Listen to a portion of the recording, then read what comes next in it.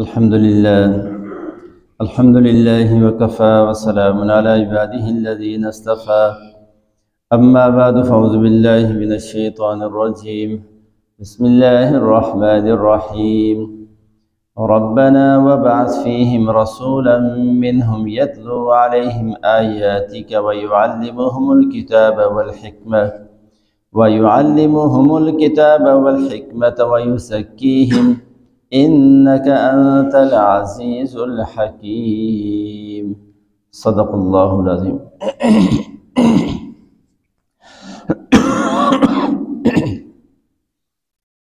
सूरह बकरा है और इसकी आयत नंबर एक सौ उनतीस है अल्लाह ताला फरमाते हैं रब्बना व बासफ़ीम रसूला ए हमारे रब इनमें एक रसूल भेज दे मिन हम जो इन्हीं में से हो यतलू आलिम आयाती का उसका काम ये हो कि वो इनको तेरी आयात पढ़ पढ़ कर सुनाए।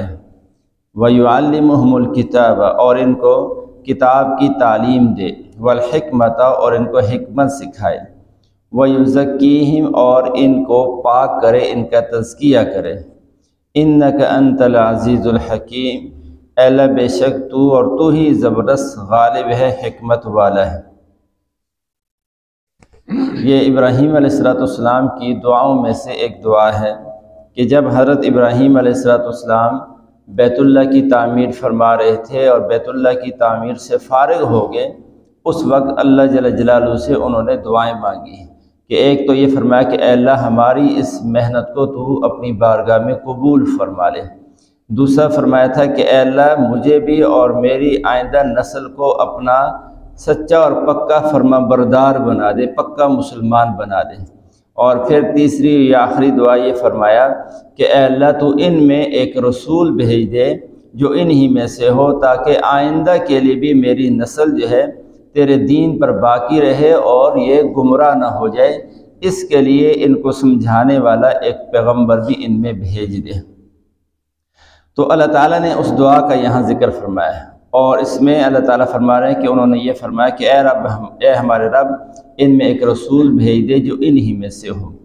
तो और उस रसूल के फिर चार फ़राइज़ मनसबी अल्लाह ताला ने यहाँ बयान फरमाए हैं कि वो रसूल एक तो उन्हीं में से होगा, इंसानों में से होगा, और उसके बाद उसके चार काम बयान फरमाए, जो यहाँ भी अल्लाह ताला ने बयान फरमाए हैं, रसूल के चार काम। और कुरान पाक में चार जगह हुजूर अलैहिस्सलाम के यही काम अल्लाह ने ज़िक्र फरमाए एक जगह यहाँ है, एक जगह उसके बाद और सूर्य बकरा में आ रहा है और एक जगह आगे सूर्य आल इमरान में है और एक जगह सूर्य जुमा के अंदर।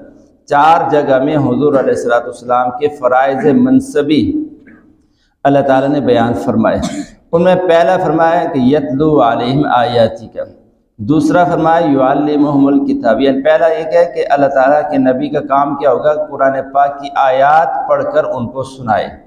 दूसरा ये कि किताबुल्लाह की तालीम दे, कुरान भी सिखाए।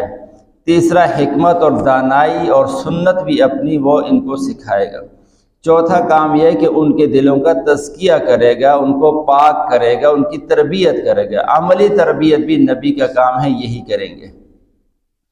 तो पहला काम ये ज़िक्र किया, यतलू आलिम आयाती का कि अल्लाह आपका वो पैगंबर ऐसा हो जो तेरी आयात पढ़ पढ़ कर इनको सिखाए, इनको सुनाए।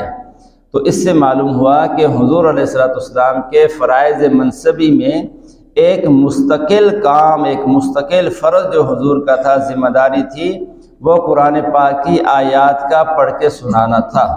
तो इससे मालूम हुआ कि सिर्फ़ कुरान पाक की आयात का पढ़ना बग़ैर तर्जमे के। ये भी हुजूर अलैहिस्सलाम के फ़राइज़ मनसबी में से एक मनसब है, हुजूर का काम है ये भी।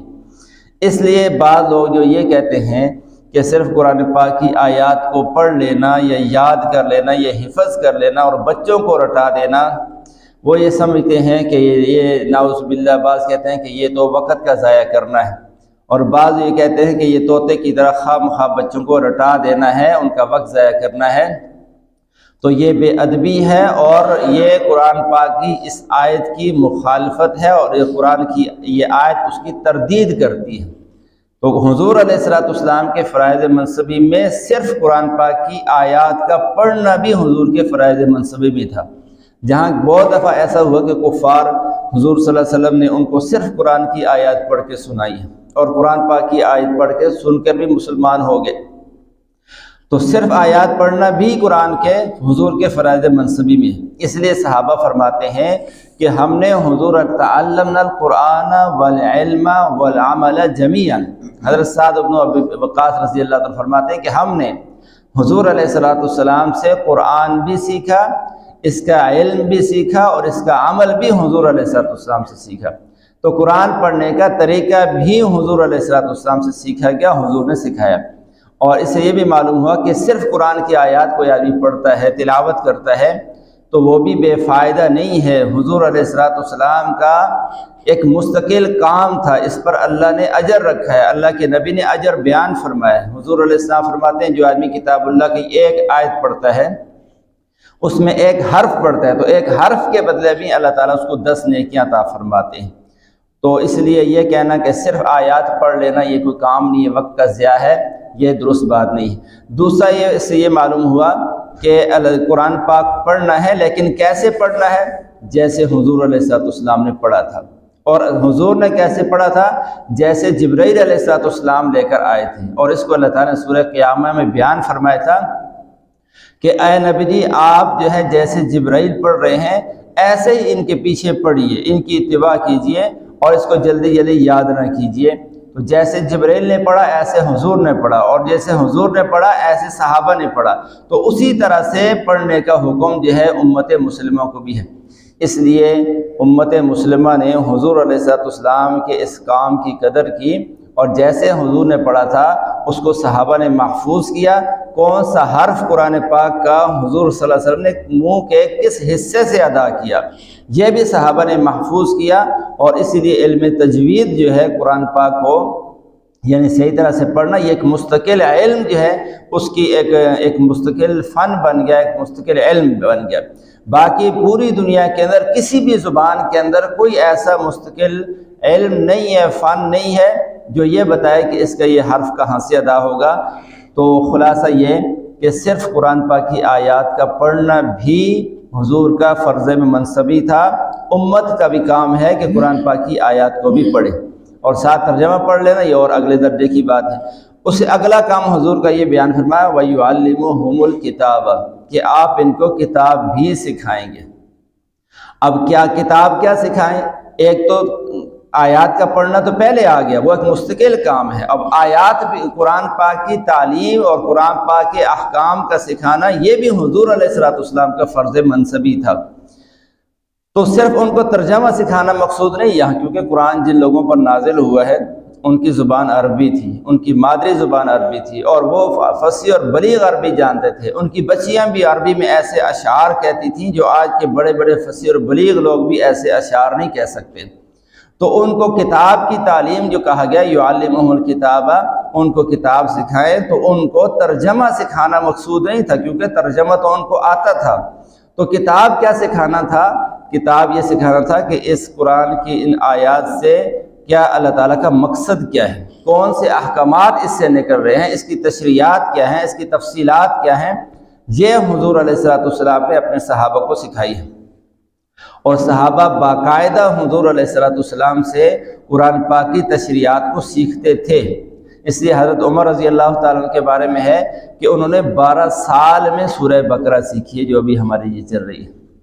और इबन उमर रज़ी अल्लाह तुम के बारे में है कि उन्होंने आठ साल लगाकर सूर्य बकरा सीखी। है सूर्य बकरा में सिर्फ़ तर्जमा तो नहीं सीखा, बल्कि इसके अंदर अहकाम क्या हैं वो सीखे। आगे चल के अहकाम आ रहे हैं। तो वो सीखे हैं हजूर सलाम से। तो इससे ये भी मालूम हुआ कि जो लोग, बाद लोग ये समझते हैं कि कुरान पाक की आयत का सिर्फ़ तर्जमा पढ़ लेना, इससे आदमी कुरान पाक का आलिम बन जाता है, उनका ये नज़रिया गलत है। और फिर वो जब तर्जमा उर्दू का पढ़ लेते हैं तो फिर वो ख़ुद ही कुरान पाक की तशरियात भी करना शुरू कर देते हैं और अपने आप को मुफसर कुरान कहना शुरू कर देते हैं। ये उनकी बहुत बड़ी गलती होती है, क्योंकि सिर्फ़ तर्जमा पढ़ने से तर्जमा आएगा। लेकिन कुरान के जो मफहूम है, तशरीहात हैं, वो नहीं आएँगी और फिर कुरान में ख़ुद भी गलत गलती करेगा और दूसरों को भी ये फिर गुमराह करेगा। जैसे आजकल के बहुत से यानी स्कॉलर जो मीडिया पर आते हैं, एक बात तो उनमें यह है कि वो कुरान की आयत को पढ़ना कोई काम नहीं समझते। इससे जब उनसे कोई रेफरेंस पूछा जाता है किसी आयत का तो वो आयत पढ़ नहीं सकते। नादरा उनको नहीं आता होता, सिर्फ़ उसका नंबर बताते हैं। सूरह बकरा की फ़लाँ नंबर फ़लाँ नंबर आयत है। पढ़ नहीं सकते वो। तो इसलिए उसका वजह क्या है कि वो पढ़ने को काम ही नहीं समझते कि कुरान पाक की आयत का पढ़ना भी कोई काम है, वो सिर्फ़ तर्जमे को काम समझते हैं, ये उनकी बड़ी गलती होती है। तो दूसरा काम अल्लाह ने यह बयान फरमाया कि किताब का सिखाना भी हुजूर का काम है, हुजूर ही की तशरियात असल है। इसलिए हजूर अलैहिस्सलाम की तशरियात से हटकर जो आदमी ख़ुद मुफसर बनेगा, वो ख़ुद भी गुमराह होगा, दूसरों को भी गुमराह करेगा। और सिर्फ़ कुरान पाक की तालीम, सिर्फ़ तर्जमे का सीखना तालीम नहीं है, बल्कि ये उसकी तफसीलात हैं, उसके अहकाम हैं। अल्लाह ताला की मनशा को पहचानना है। ये हुजूर की तालीम के बगैर नहीं समझ सकते। और तीसरा काम फरमा वल हमत दानाई की बातें, अपनी सुन्नत का सिखाना, ये भी हजूर सलाम का काम है। और चौथा, फरमाया तस्किया करना। तस्किया का मतलब यह है कि अमली मश्क कराना। तो हजूर सलाम ने सहाबा को सिर्फ़ थ्योरी नहीं पढ़ाई, यानी सिर्फ़ नज़रियात नहीं पढ़ाए, बल्कि अमली तौर पर मश्क करके भी दिखाई है कि यूँ इस पर अमल करना है। इससे फरमाया कि नमाज़ कैसे पढ़ो? सल्लु कमार मोनी उसली नमाज़ पढ़ के दिखाई और फरमाया कि इस तरह से नमाज़ पढ़ो। और सहाबा भी फिर क्या करते थे? हरत उस्मान रज़ी अल्लाह अपने शागिदों से फरमाते, आओ, मैं तुम्हें हुजूर अलैहिस्सलाम का वज़ू करके दिखाऊँ कि हुजूर ने कैसे वज़ू किया था। फिर वज़ू किया और फिर पूरी तरह आज़ा को धोया, अच्छी तरह वज़ू करके फिर दो रकत नमाज़ पढ़ के सिखाई कि इस तरह से हुजूर अलैहिस्सलाम ने करके दिखाया।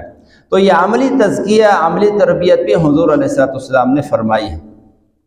अगली जो बात है, वो इस सबसे ज़्यादा अहम है, वो ये है कि यहाँ जो अल्लाह फरमा रहे हैं, यतलु आलिम आयातिम अल्लाह, तेरी आयात इनको पढ़ के सुनाए। यानी सहाबा को कहा जा रहा है कि इनको आप आयात पढ़ के सुनाएँगे, फिर इनको आप किताब की तालीम भी देंगे हमत भी सिखाएँगे, इनका तस्किया भी करेंगे। तो ये चार फ़राइज़ मनसबी अल्लाह ने बयान फरमाए हैं। अब अगली बात ये क्या हजूर सलाम ने ये अपने फ़रज़ मनसबी अपनी ज़िंदगी में अदा कर दिए थे या नहीं किए थे? अगर कोई कहे नहीं किए थे तो वो तो इस्लाम से निकलेगा फिर। और अगर कहे किए थे तो आया हजूर सलाम अपने इस मकसद में कामयाब हुए थे या नहीं हुए थे? अगर कहे नहीं हुए थे तो फिर भी इस्लाम से निकलेगा। अगर हुए थे कामयाब तो फिर जो हजूर वसल्लम के मुखातब थे, सहाबा उनका तस्किया हो गया था या नहीं हो गया था तो क्या ना पड़ेगा कि हो गया था तस्किया और वो सारे के सारे मुजक्का थे, सारे के सारे पाक साफ़ थे और सबकी तरबियत अल्लाह ने कर दी थी। इसलिए वो कामयाब लोग थे। इसलिए बाद लोग जो अपने आप को कहते तो मुसलमान हैं, लेकिन उनका नज़रिया ये है कि अहल बैत अतहार और तीन सहाबा के अलावा नाउज बिल्ला सारे मुर्तद हो गए थे तो उनका ये नज़रिया कुरान की इन तालीमत के बिल्कुल ख़िलाफ़ है। इसका अगर यूँ कहा जाए कि नाउज़बिल्ला मुर्तद हो गए थे तो इसका मतलब ये निकलेगा कि हजूर अलैहिस्सलाम अपने फ़रज़ मनसबी के अदा करने में नाउज़बिल्ला नाकाम हो गए थे। और ये कहना कि नाकाम हो गए थे, ये तो कुफर है फिर। तो इसलिए ये ये नज़रिया तो ज़रूरी है कि सहाबा सारे के सारे पाक थे सारे सहाबा जन्नती थे, सारे अहल बैत जन्नती थे, उनमें से कोई आदमी भी ऐसा नहीं था जो कबीरा गुनाहों का इरतकब करते हुए दुनिया से चला गया हो। तो बहरहाल ये हजूर सलाम के चार फ़रज़ मनसूबी बयान फरमाए, अल्लाह ताला हमें इनको समझने की, इस पर अमल करने की तोफ़ी नसीफ़